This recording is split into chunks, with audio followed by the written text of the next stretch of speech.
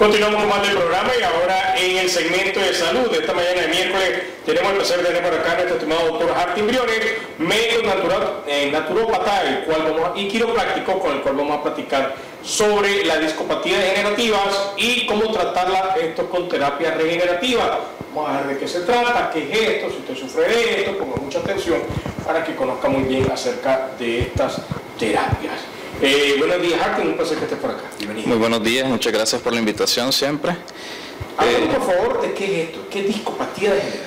Las discopatías degenerativas tienen que ver con eh, las alteraciones que se pueden presentar en los discos vertebrales, ¿verdad? estas, como, como el nombre ya lo dice, pues son degenerativas y a eso se le suma que son, son son alteraciones que vienen a, convertirse en crónicas, entonces vienen a ser crónicos degenerativas. ¿Qué quiere decir esto? Que con el paso del tiempo ella va a ir empeorando la situación. Entonces, si el paciente no eh, realiza un correcto tratamiento para estas situaciones, con el paso del tiempo esto va a ir a, peor siempre. Oye, ¿qué manifestación da esto en el cuerpo? ¿Qué siente el paciente? ¿Cómo te das cuenta que sufrís de esto? Esto es, esto es de manera silenciosa, que hay que chequearte, que hacerte un examen en, la columna para conocer acerca de ello o no. O sea, hay dolores intensos. ¿Cómo es esto? ¿Cómo se, se mira una gran hinchazón en cierta área? Por favor. Sí, eh, hay dos formas, ¿verdad?, para que una persona pueda llegar a tener este, una discopatía. En primer lugar, que son las más generales, ¿verdad? Las más comunes, eh, son las que se provocan por la edad. Entonces es un proceso normal del cuerpo humano, ¿verdad? Que ya cuando uno pasa arriba de los 50, 60 años, todo en el organismo viene en decadencia, ¿verdad? Esto pues sumado a, los malos hábitos de vida que usualmente tenemos. Entonces, en primer lugar, estas, estas alteraciones se dan por el factor tiempo, el factor edad. De manera eh, natural. De manera natural. Lo vamos a llegar a tener unos más, otros menos. Correcto. más temprano y otros más tarde. Correcto. La otra forma es a través de lesiones en nuestra columna vertebral. Entonces aquí podemos encontrar los accidentes de tránsito, eh, los accidentes domésticos, los accidentes laborales. Eh, hay muchas personas desencadenan una discopatía por una caída de una silla, la caída de una cama. Entonces hay que tener mucho cuidado con eso. Las manifestaciones clínicas, ¿cuáles son? En primer lugar están los dolores. Los dolores van de moderados a intensos y usualmente son dolores permanentes. Eh, usualmente a esto se le suma sensación de hormigueo en las articulaciones, eh, inflamación, rubor o, sensación de calor en la zona. Eh, se le puede, este, presentar al paciente también entumecimiento, y dificultad para realizar movimientos normales, ya sea en sus extremidades, puede ser este, los brazos o las piernas, y este, también dolor en, la, en el área de, la, de los homóplatos. Ok, estamos hablando entonces que esto, ya lo decías para hacer un breve resumen, pues es de manera natural, es algo normal, uno obviamente se le puede acelerar este proceso debido a malas posturas, a caídas, a golpes, a, traumas en su momento o también obviamente a una actividad que hacen o ejercen y esto afecta a la parte de lo que es la columna. Ya decías ahorita, significa que esto obviamente te puede dar diferentes acciones en las cuales tu cuerpo puede obviamente comenzar a sentir, que es eh, dolor, eh, eh, te imposibilita en hacer algunos movimientos o en tus extremidades poder tener un movimiento correcto y el, obviamente el que esto te va a afectar tu calidad de vida, pues. ¿Cómo se trata esto con las terapias regenerativas?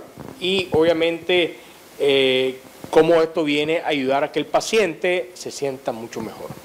Correcto. Como decía en el inicio, ¿verdad? Son, son alteraciones crónico-degenerativas. Entonces, eh, ahí no podemos quedarnos nada más con tratamientos analgésicos o relajantes, ¿verdad? Para ir disminuyendo los dolores, porque al final no se va a lograr hacer nada, ¿verdad? Okay. Entonces ahí es donde entran en juego las terapias regenerativas. ¿Qué terapias son estas? En primer lugar tenemos la de eh, reposición postural, digamos.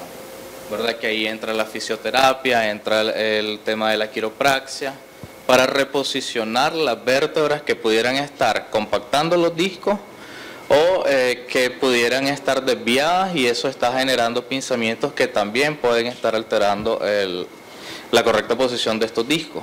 Ok, entonces fije que eh, esto, eh, pues ya decías ahorita algo muy interesante, esto afecta obviamente los discos y esto puede alterarse mucho más en base a toda esta presión que puede recibir y esto hace que el paciente tenga un dolor más fuerte, el cual no puede obviamente contener.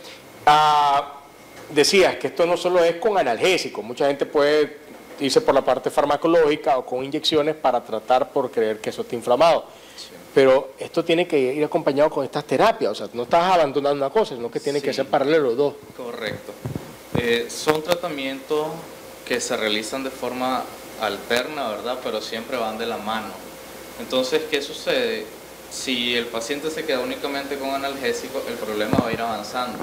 Entonces, ya cuando el paciente quiere llegar a realizarse una terapia regenerativa, ya el problema puede estar muy avanzado y ya las terapias regenerativas o van a tardar más en hacer su efecto o ya no van a lograr hacer el efecto deseado.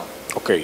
Entonces es importante que cuando los pacientes empiecen a sentir estas alteraciones, busquen asesoría médica. Okay. ¿verdad? Y pues aparte de eso, que vayan pensando en terapias regenerativas. Eh, aparte de las terapias de reposicionamiento vertebral, están las terapias ya regenerativas propiamente dichas.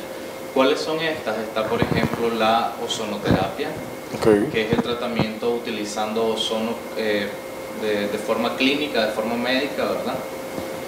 Eh, está la terapia con, con plasma rico en factores de crecimiento, ¿verdad? que esto lo que va a hacer es regenerar el disco que pueda estar dañado o alterado eh, está la misma terapia neural que es para ir regenerando la parte del sistema nervioso que pueda estar comprometido. Y hay otras terapias que son eh, ya un poco más para tratar el tema del dolor. Son terapias que conocemos nosotros como analgésicas.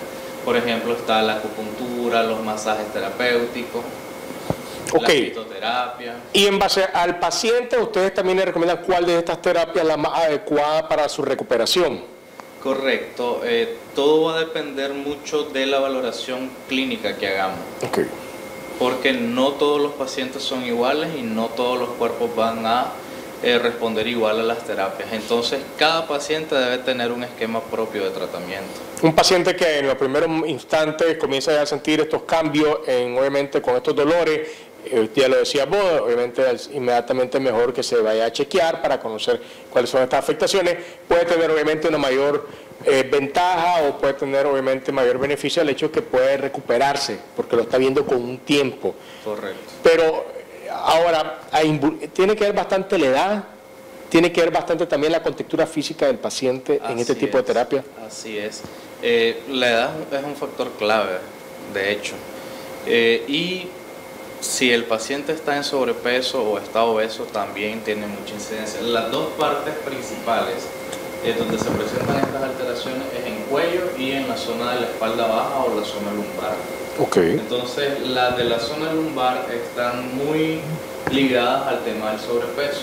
Entonces, si es un paciente que está con sobrepeso, lo principal ahí es ayudar a ese paciente a que pierda peso para que pueda haber una disminución en el peso corporal que es el que afecta directamente la zona lumbar. Oye, me significa entonces que eh, esto es otro de los factores que afecta esta área, o sea, no necesariamente tiene que ser un trauma o puede ser una mala postura, sino que también el peso involucra en lo que el paciente, y si la persona también eh, tiene una estatura baja, obviamente el cuerpo está aguantando mucho más y esto puede crear un mayor soporte en esta área. Entonces, eso tiene bastante que ver. Ahora, hay otro tipo de patologías que pueden verse involucradas y que obviamente esto crea un eh, mayor eh, complica lo que puede ser el tratamiento. Da una, persona que tiene que ha sido diagnosticada con artritis, una persona que ha sido diagnosticada con fibromialgia, obviamente que, que son, que son situaciones, manifestaciones que el cuerpo va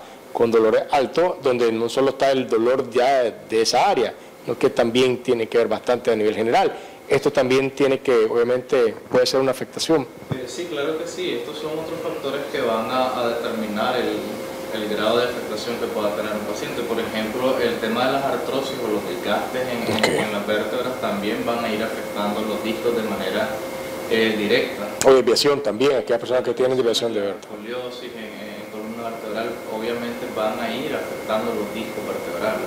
Ok. Y esto, el tratamiento más o menos cuando, cuando existen todas las condiciones adecuadas, el paciente lo descubre o si comienza a sentir estos dolores de manera temprana y se va a chequear cómo cambia la calidad de vida del paciente. ¿Esto en cuánto tiempo comienza a haber una diferencia? Eh, eso es relativo, relativo a cada paciente. Realmente pueden haber pacientes que eh, el cambio es inmediato, ¿verdad? Después de hacer una de las terapias eh, por ejemplo, si es un paciente que anda alguna desviación eh, en su columna vertebral, digamos, y esas desviaciones son las que están generando el dolor o la alteración en el disco vertebral. Entonces puede ser que eh, con una sesión de quiropraxia el paciente inmediatamente le desaparezca el dolor. Entonces después lo que viene es un tratamiento de seguimiento, se puede decir Okay. Estimado Arti, entonces, ¿cómo pueden hacer nuestros televidentes para poderse contactar con vos? Si están pasando por esto, porque ya lo decía, esto es algo muy usual.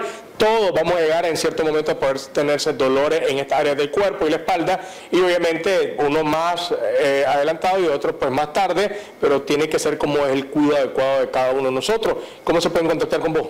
Sí, la clínica está en el reparto de los robles, ¿verdad? Estamos de la Pisa Valentis, eh, media cuadra hacia abajo. Y nos pueden escribir para hacer sus citas al 8796-9384. Excelente, entonces casi por el triángulo, entonces. Sí, sí. Casi por el triángulo. a la par del triángulo. Ahí en Colombia Los Robles usted va y puede perfectamente hacer cita. Hay redes sociales para que puedan conocer mucho más. Es, sí, nos encuentran en Facebook como Santuario Natural Nicaragua. Ahí tienen entonces, lo pueden llamar, los notan en pantalla, pueden buscar en las redes sociales y pueden perfectamente hacer cita si usted está sufriendo de ello, pero que mejor que tenga una mejor calidad de vida con estos tratamientos adecuados que le van a poder permitir disfrutar de todas las actividades que usted realiza. Nos vamos a una pausa y venimos con más del programa.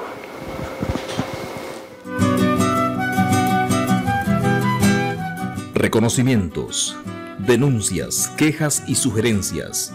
Envíelas a Canal 12 Programa Buenos Días Nicaragua, Residencial Bolonia, o llámanos a los teléfonos 2266-0691, 2266-9983, 2266-9984. Escríbanos a nuestro correo electrónico canal12 arroba canal12.com.ni. Redes sociales, Facebook Noticias 12 Nicaragua, YouTube Canal 12 Nicaragua. Twitter, arroba Canal 12 Nic. Visita nuestro sitio web www.canal12.com.ni.